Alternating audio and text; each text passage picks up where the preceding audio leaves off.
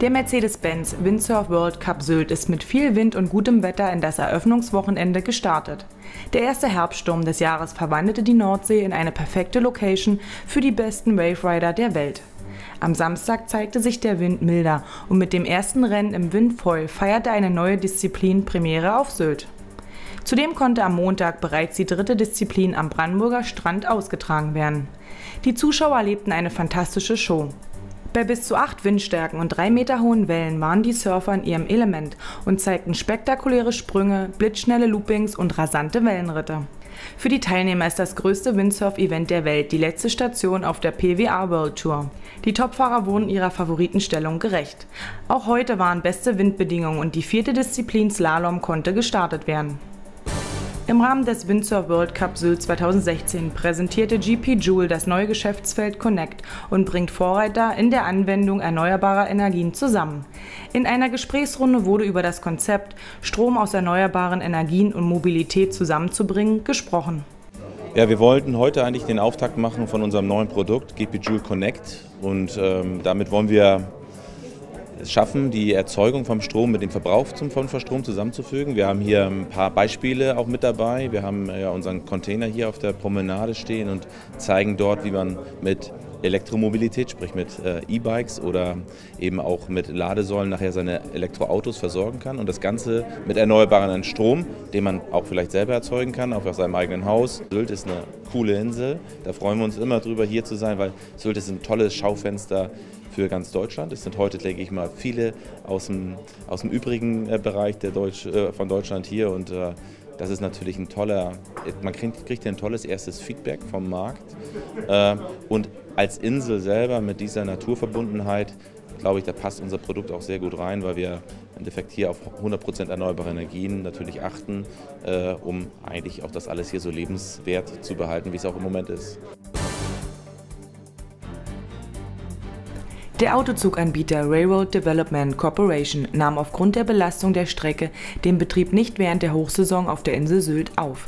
Auf der Homepage des Unternehmens findet man die Information, dass RDC ab Herbst 2016 unter der Marke Autozug Sylt mehrmals täglich Fahrzeuge von bzw. nach Sylt transportieren wird. Doch auf der Strecke findet weiterhin nur der Probebetrieb statt, um das Material zu testen, das Personal zu schulen und die Koordination mit dem Terminalbetreiber einzuüben, heißt es seitens des Autozuganbieters.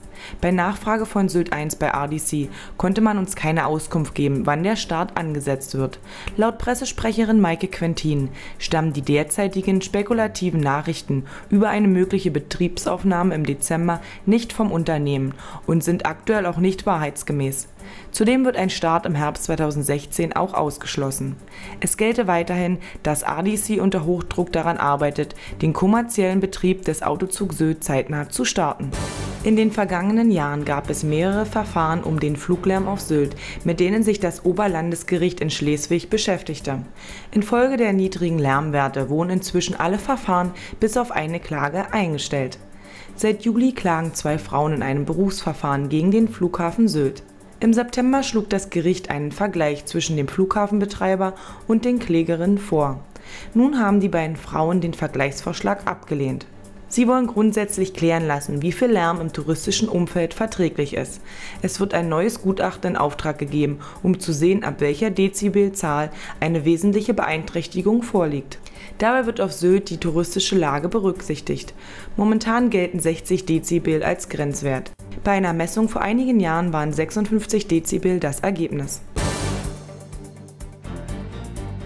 Heute wurde das neue geplante Bürgerbegehren für die Geburtenhilfe in Nordfriesland von den Initiatoren Lars Schmidt, Lasse Lorenzen und dem Führer Markus Herpich vorgestellt. Die Initiative will sich für Geburtenstationen im Kreis Nordfriesland einsetzen, damit Frauen ihre Kinder wieder an Kliniken auf Sylt oder Föhr auf die Welt bringen können. Wir haben festgestellt nach der Schließung der Geburtenstation auf Sylt, dass in einer Art Salamitaktik nach und nach die Geburtshilfe in Nordfriesland aufgegeben wird. Nach Sylt kam Föhr, dann kam Nibel und Husum ist für mich noch eine Frage der Zeit.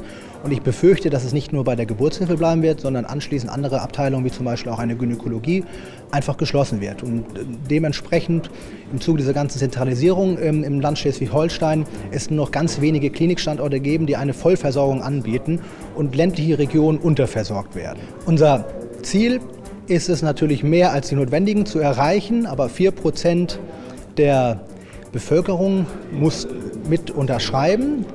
Wobei wir natürlich sagen, bei ungefähr 164.000 Nordfriesen, dass wir nicht bei 6.000 Unterschriften aufhören. Das, unser erklärtes Ziel sind über 10.000 Unterschriften, um auch deutlich zu machen, dass es ein Thema ist, was die Nordfriesen interessiert. Auf der letzten Sitzung des Schul-, Jugend-, Kultur- und Sportausschusses wurde über den Antrag von Team Sylt auf finanzielle Unterstützung zum Wiederaufbau der Vereinshütte beraten. Die Politiker beschlossen, dem Verein zur Überbrückung der Finanzierung des Neubaus einen rückzahlbaren Betrag in Höhe von 10.000 Euro aus der Sportstättenrücklage zur Verfügung zu stellen. Das ursprünglich auf dem Gelände errichtete Gebäude ist im März diesen Jahres abgebrannt. Nach Auskunft von Team Sylt e.V. soll die Vereinshütte durch Spenden finanziert werden. Aktuell beträgt beträgt das Spendenaufkommen rund 27.000 Euro. Die Gesamtkosten für den Neubau belaufen sich auf 35.000 Euro. Nach dem einstimmigen Beschluss des Hauptausschusses der Gemeinde Sylt zur Dachsanierung der Alten Post im Westerland begannen die ersten Arbeiten am Gebäude. Die Erneuerung des Daches wird ungefähr je nach Wetterlage ca. acht Wochen betragen. In der ersten Bauphase wird die vorhandene Dachdeckung abgenommen. Danach wird ein neuer Dachaufbau und Unterdachaufbau errichtet. Zudem wird gleichzeitig der Brandschutz, Fluchtwege und Fluchtfenster für die Mietwohnungen eingesetzt. Die Kosten für die Dachsanierung betragen ca. 340.000 Euro. Am 10. Oktober 2016 beginnen die Arbeiten am 8. Bauabschnitt im Trift-Kirchenweg am Bahnhof Westerland. In diesem Zuge wird der Bahnweg auf Höhe Rossmann voll gesperrt und der Bereich zwischen St. Nikolaistraße bis Kierstraße zur Einbahnstraße. Der Verkehr kann nun ausschließlich in Richtung Norden bzw. Osten fließen. Der Kurzzeitparkplatz am Bahnhof Westerland steht ab Montag nur noch zum Ein- und Ausstieg zur Verfügung. Bahnreisenden wird empfohlen, nach Möglichkeit die Bahnhöfe Morsum und Keitum zu nutzen. Zudem bleibt die Umleitung zum Autozug bis Ende 2016 unverändert. Die Streckenführung verläuft von der Tinnumer Brücke über Dirksstraße, trifft bis zum Industrieweg. Diese Regelung gilt auch für Verkehrsteilnehmer aus Westerland, die den Sylt-Shuttle erreichen wollen. Die Gemeinde bittet alle Sylter und Gäste zur Entlastung des innerstädtischen Verkehrs beizutragen und ausgeschilderten Umleitungsempfehlungen zu folgen. Die Handball-Männermannschaft des TSV Westerland tritt morgen zu ihrem dritten Heimspiel in Folge an. Nach dem ersten erspielten Punkt am vergangenen Wochenende treffen die Handballer morgen auf die HSG Eiderharde 2. 18.30 Uhr Samstag äh, spielen wir zu Hause gegen die HSG Eiderharde 2. Ja, äh, vorgelegt haben wir, den ersten Punkt haben wir geholt, jetzt wollen wir bitte auch einen Sieg holen. Drei Punkte wären super klasse und äh, ja, wer Lust hat, äh, bitte in die Halle kommen. Wir brauchen dringende Unterstützung, das haben wir jetzt am Wochenende gesehen, letztes Wochenende ähm, dass das äh, mit den Fans im Rücken super klasse ging. Hoch, einen hohen äh, Rückstand wieder aufgeholt und dann unentschieden, ganz klasse. Und wer Lust hat, natürlich vor 16 Uhr ins Stadion zu unseren Freunden von Team Sylt. Die spielen ein Heimspiel, äh, auch wichtiges Spiel vor den Ferien. Und dann können wir alle fröhlich und hoffentlich glücklich in die Ferien gehen.